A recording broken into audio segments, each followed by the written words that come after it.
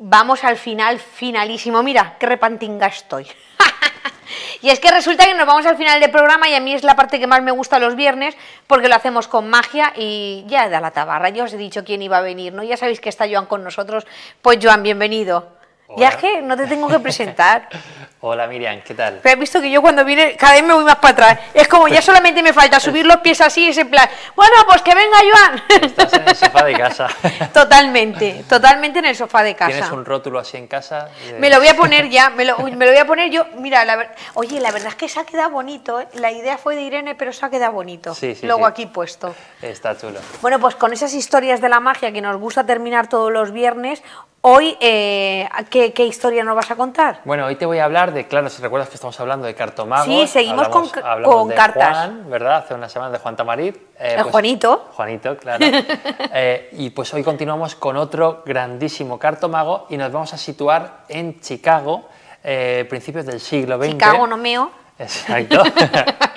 Nos vamos a, Chicago, Estados Unidos, estamos a principios del siglo XX y allí mucha gente no sabía que se podía hacer magia con cartas, pero había uno, uno que sí que lo tenía bien claro y este es el personaje del que vamos a hablar hoy que se llama Ed Marlowe, ¿vale? Como el padre de la. sería el padre de las naipes de la cartomagia. Bueno, es uno de los grandísimos referentes en cartomagia. Un gran ¿sabes? referente, ¿no? Es muy difícil acuñar el, el nombre de padre o, o madres de Por- la cartomagia porque hay muchos A- que han... Y a nivel mundial no podríamos Claro, decir quién sabes es que, el por primero. ejemplo, yo para mí Juan Tamarit lo considero un grandísimo referente, pero también está Arturo Dascanio. Pero si nos vamos, si cruzamos el charco y nos vamos quizá a Estados Pero este es Unidos. anterior.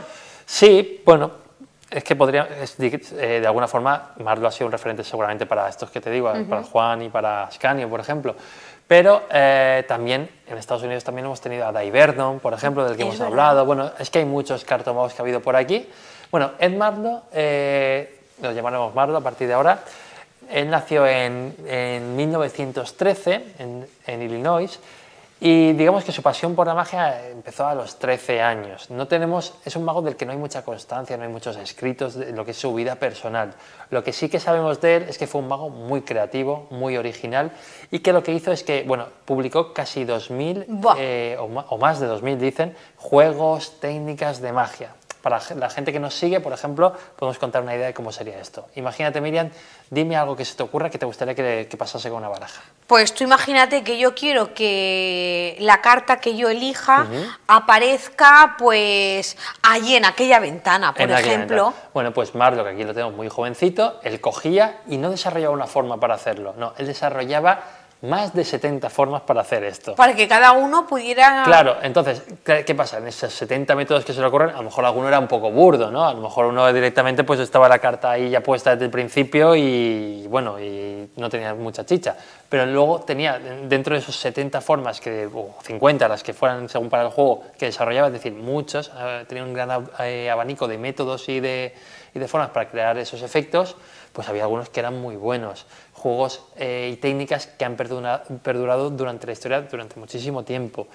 Él, si tuviéramos que darle alguna característica, es que era un virtuoso de la, de las- de la cartomagia. Tenía una, una destreza digital maravillosa. Él, tú lo ves, hay vídeos de él en el que lo ves manejando las cartas. Bueno, siempre lo tenemos. Además, mira, aquí lo tenemos en estas fotos. En la mayoría siempre aparece con un puro. Curiosas, Sí, ¿eh? sí. Eh, eh, Vamos, yo pensaba que era parte de la magia. Pues es que es curioso porque él muchas veces parece, esto lo hacen muchos magos, no solamente lo, lo hace él, pero bueno, seguramente sería uno de los primeros, que esta, el puro que utilizaba también lo, lo utilizaba para justificar según qué acciones hacía en magia. A lo mejor si tenía el puro en una mano y quería sujetar las cartas de alguna forma, pues eso le varía para cogerlas según qué forma en función de- del puro que tenía en la mano. Sí, formaba parte de su espectáculo, ¿no? De su persona. De su personaje y entonces él adaptaba pues las cosas que hacía con cartas a incluso a tener el puro en la mano en según qué momento, pues porque al parecer pues le gustaba fumar puros, claro. bueno, aquí lo tenemos por ejemplo haciendo pues esta clásica pirueta con las cartas, descenderlas, que creo que incluso aquí en Telelch algún día la, la enseñamos cómo hacerla, si no te la enseñaré algún día, ¿vale? Pero él, como te digo, era muy diestro. En esa foto sí está muy mayor. Sí, aquí ya es una época más avanzada de su vida. Bueno, él eh, nos dejó en el año 1991. Fíjate, o sea, y es de, no- y es de, de de los 1913, años... exacto. Claro, de los... Mm, sí. Fíjate. Entonces, eh, Longevo. bueno, sí, nos- no, eh, tuvo una vida, bueno, una vida cartomágica muy larga Sí. y no paró de crear. Se pasó toda su vida. Él no fue un mago, un gran performer, no fue un gran actuante. Él no iba, digamos, a hacer shows como se hacen hoy, hoy en día. Ves a tantos magos que van a actuar. Él era más un mago creativo y que le gustaba compartir con la comunidad mágica. ¿Qué pasa? Él cada vez que se le ocurría algo, inmediatamente lo escribía y si podía lo compartía. Él publicó su primer libro con 25 años y ese libro fue, digamos, fue el que le catapultó un poquito digamos, a tener el reconocimiento de otros muchos magos. De ahí en adelante publicó, pues como te he dicho, más de 2.000 juegos y técnicas, una auténtica barbaridad. De hecho, hay, hoy en día habrá muchos magos que hagan juegos de magia y que no sepan que el origen viene de, de Marlo. A lo mejor Marlo creó ese efecto hace pues 60, 70 años y hay magos que hoy en día lo están haciendo y si no lo estudian bien piensan que a lo mejor la referencia es otra. Es verdad que también tuvo sus detractores porque en aquella época, hablo principios del siglo XX, pues había muchos juegos de magia que se hacían eh, o se publicaban y la autoría era, algo compleja. Claro, en aquella época mm, poder acuñarse una autoría era complicado. Claro, dicen que Mardo, por ejemplo, a lo mejor, esto cuentan que a lo mejor veía a un mago hacer un juego y él eh, intuía cómo se podía hacer o desarrollaba un método e inmediatamente lo publicaba. Entonces, es decir, que a veces también era un poco, oscurete. Sí, eh, eso dicen, ¿eh? yo te hablo de lo, que has podido leer. Él no está aquí para defenderse. Él no está para defenderse, pero al parecer, hombre, con todo el contenido que creo, pues seguramente alguna de las cositas que, que, se, que se publicó en su nombre eh, pues es posible que tengan ese origen, ¿no? que él viese a otros magos hacer algo y como esos magos no lo iban a publicar o no lo habían publicado, pues él intuía cómo se hacía o desarrollaba un método para hacerlo y lo publicaba.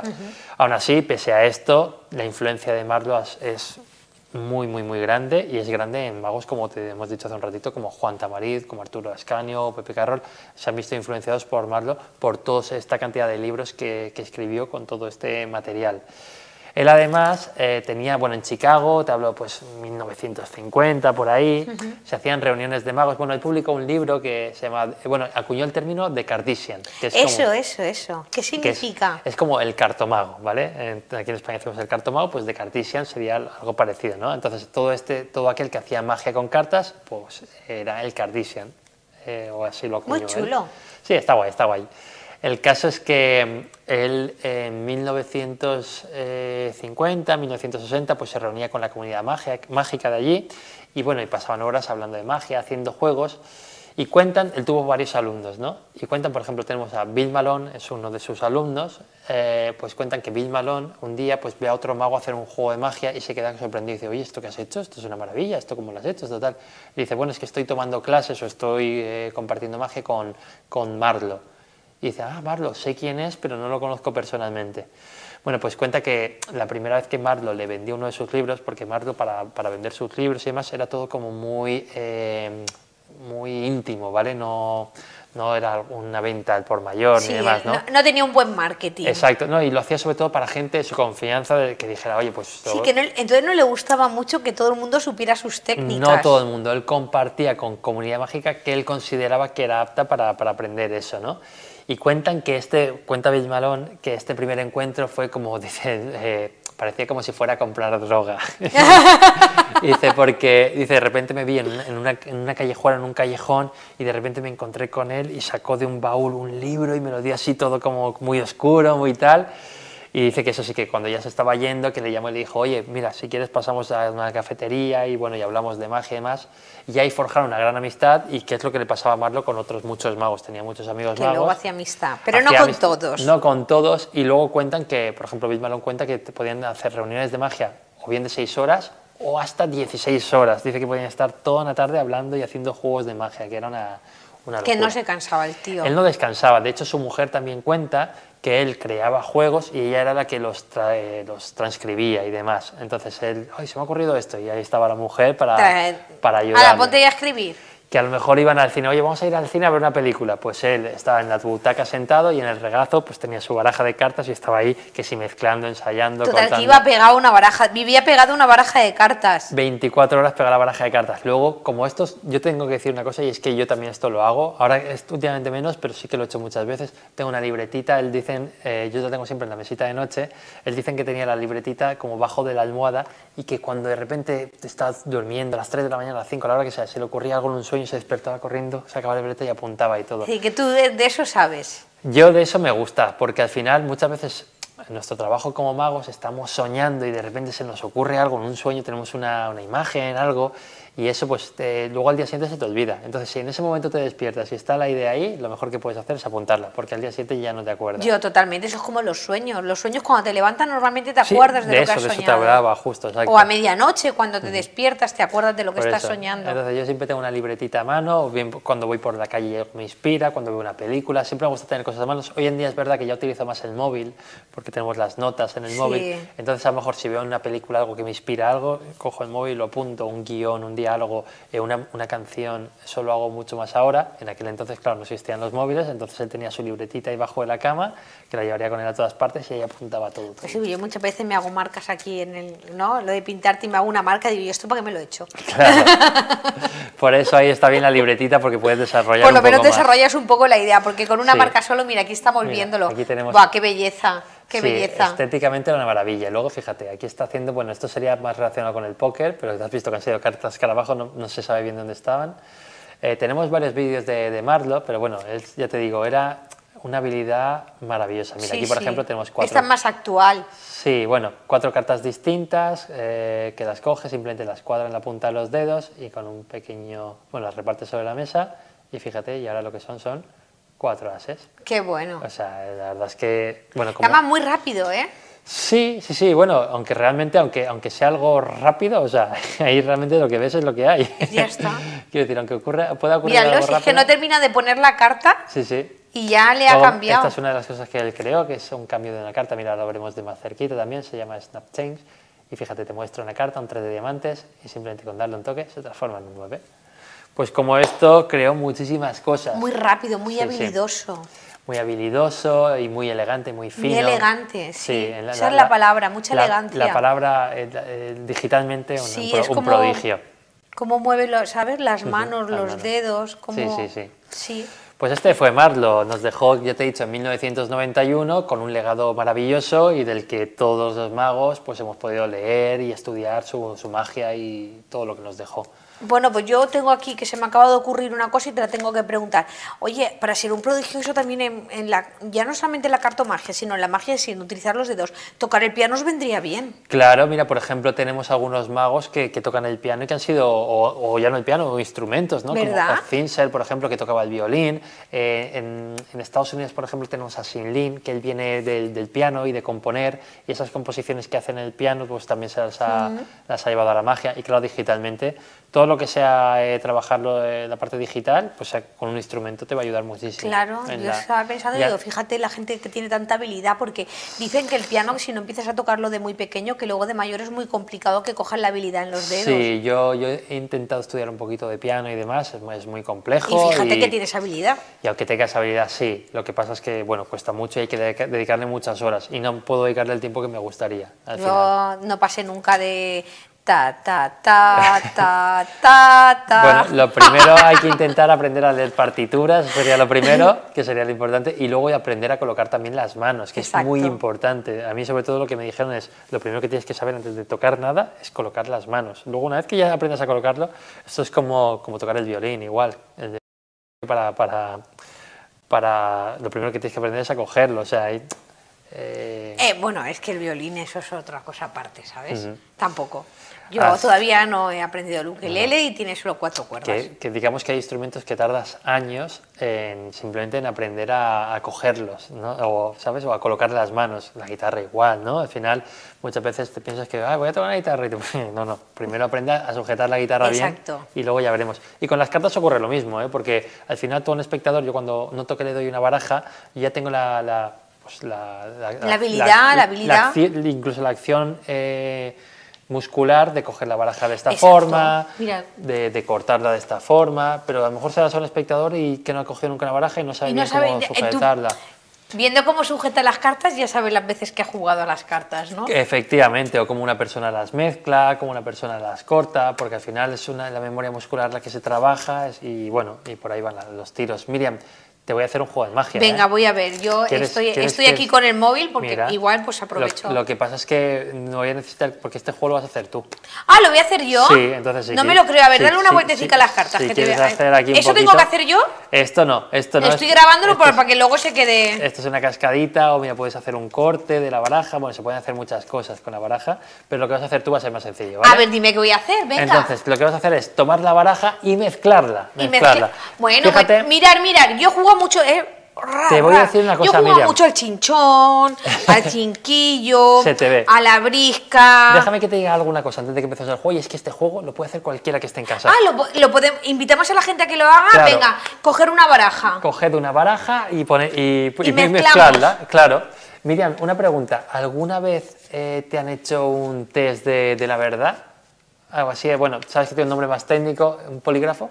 No, pero me encantaría. Te encantaría, Me pues. encantaría, porque yo soy una mentirosa.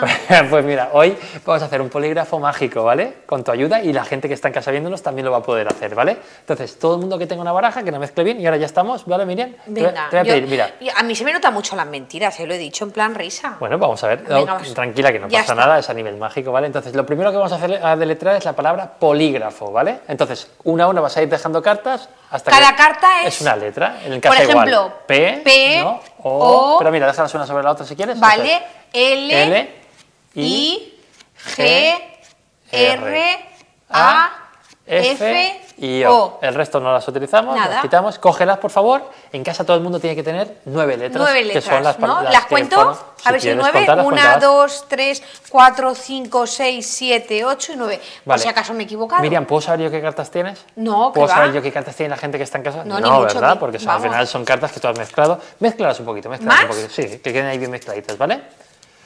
Y ahora vamos a hacer eh, algo especial. Mira, todo el mundo que esté en casa va a hacer igual que tú ahora. Pues, Después todo el de mundo que esté en mezclarlas, casa va a tener las mismas cartas que yo. no, va a tener la suya propia, pero hará su propio polígrafo. Ahora Ah, cómo. vale. Sería un milagro, ¿eh?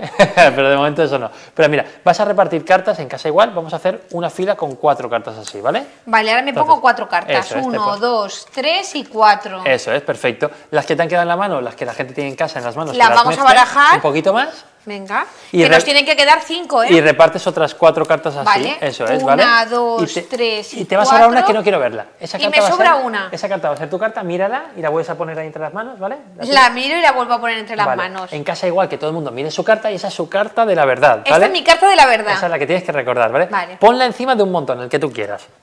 En casa Pues cada en uno, este. en cada uno, en casa cada uno que haga lo que quiera, ¿vale? este bien. Vale, ahora Miriam vas a coger el montón donde has puesto la carta, ¿has puesto ahí? Ah, pues ponlo encima de otro montón, el que tú quieras.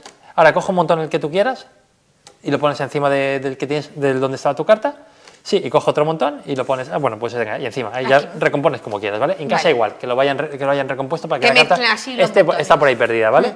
Y ahora vamos a hacer lo siguiente, mira, tu carta puede ser, por ejemplo, un número, no que podríamos decir el 8, el 5, el 9, ¿verdad? O también podría ser una figura como por la reina, la J, ¿verdad? Entonces, lo primero que hay que deletrear es el o la, pero no tiene por qué ser de tu carta. Por ejemplo, imagínate que tu carta fuera el 2 de tréboles, pues tú puedes deletrear el 8 de picas si quieres, o puedes mentir todo lo que quieras. Ah, que puedo mentir. Sí, Esa- entonces, mira, y en casa igual. Entonces, coger las cartas todo, todo el mundo así. ¿Las cogemos? Sí. Y ahora mira, eh, de- vamos a deletrear lo primero. ¿Qué prefieres deletrear? ¿El o la? Ah, pero con el, con el, con el artículo y sí, todo. claro. Entonces, primero, ¿el o la? ¿Qué deletreamos? ¿Y lo tengo que decir? Sí. Y, La. y en casa lo harán con él o con la, con lo que quieran. Pues mira, días L y A, ¿vale? L y A. Y pones todas encima. Vale.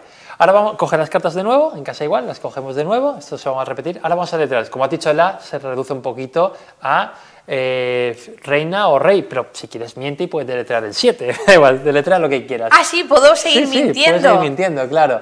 Entonces, Vale. ¿qué vamos a He deletrear dicho ahora? la Sí. y ahora digo dos. Pues deletreas dos. En casa el número que cada uno de- deletree lo que quiera. 2, 5, 8, lo que quieras. Venga. D, D, O, y S. S. Y todo encima. Y todo encima. Y coges las cartas de nuevo. Vale. Ahora D. Eso todo el mundo va a deletrear igual, porque sea el 2D o el 8D o la reina Vale, D, ¿vale? D. Entonces, una D, D una E y E. y todo encima. Y todo encima. Y cogemos. Y ahora llega la parte del, del palo. El- Pueden ser el- ah, picas, rombos, tréboles o corazones. Vale. ¿Qué deletreamos? Corazones. ¿Te gustan, eh? Venga, Eh. deletrea, dale corazones. C, O, R, A, A, Z, O, N, E, y S, pues todo encima. Y coges. En casa podido deletrear corazones, diamantes, trébol o pica, lo que cada uno ha querido. Y ahora viene la pregunta importante, Miriam. ¿Has mentido? ¿Poco, mucho o nada? He mentido yo creo que mucho. ¿Mucho? Pues vale, pues mira, en casa todo el mundo va a hacer como tú, y tú también vais a, vamos a letrar mucho, ¿vale? Entonces, hazlo despacito para que todo el mundo haces M, bueno, voy haciéndolo. M, U, C, H, y. Y la O la dejas a un ladito, ¿vale? Y todas las cartas las juntas si quieres y la dejas ahí, ¿vale? Fíjate que tú has mentido lo que te ha dado la gana. Y al final hemos empezado con una carta que está ahí. Esas las vamos a dejar ahí a un ladito que no son importantes. dejo. Ahí ha quedado una carta. En casa todo el mundo tendrá una carta. La carta de la verdad. Miriam, ahora sí tienes que ser sincera. ¿Cuál era tu carta de la verdad? Mi carta de la verdad era el 9 de diamantes. Nueve de diamantes. O rombos, ¿no? Que sea lo mismo. Exacto, o rombos. Pues tú misma, Miriam, mira a ver. Ahí tiene que estar, oye. Tu carta de la verdad, el polígrafo no falla. ¡Qué bueno! Y mira, mira que, buenísimo. que claro, que se vea que son todo cartas distintas, ¿eh? Miriam? Y Buenísimo. tú has deletreado lo que has querido y ahí te ha salido. Bueno, y esta carta me toca mucho a mí, yo Te no sé. Nueve de Yo no rombos, sé, oye. tú sabes que los nueve me salen mucho, los ocho sí. también, los corazones y los diamantes. Una carta de las 52, sí, sí. Pues Mira. nada, igual tengo yo que apostar este año por comprar el, un 9 en el décimo de la lotería de Navidad, ¿eh? Bueno, Eh, no no. voy a decir mucho, que no era que la gente Aún, le da por aún queda, comprarlo. aún queda para la lotería. bueno, pero la gente ya empieza a comprar ahora mismo. Bueno, un placer y como siempre me quedo... Y no has podido mentir, Miriam. Y no he podido mentir. No has podido mentir. Eh, lo he intentado, intenta mentir mucho, pero no he podido. Bueno, no, no nos vemos la semana que viene porque sabes que el jueves es mi último día, pero el viernes estarás aquí con Teresa seguramente. Sí, y disfruta mucho. Y nada, y disfruto mucho, que envidia te doy. La envidia que me diste tú el año pasado, ¿sabes? Bueno, nos Bueno, no, hace, no hace todavía un año, sí, ya hace un año. No hace el año, pero sí, Sí, fue el sí, año pasado. 2023. Nos vamos pasando la envidia, ¿no? Nos vamos pasando la envidia, ya te contaré la vuelta que, qué tal Laos. Muy bien, Miriam, pues disfruta mucho. Nada, pues muchas gracias, me voy de fin de semana, a disfrutar todos vosotros también de fin de semana, pero el lunes todavía tenéis una cita aquí, en día a día, con Miriam Quesada y con toda la gente que va pasando por aquí por el plato. Un besito, hasta luego.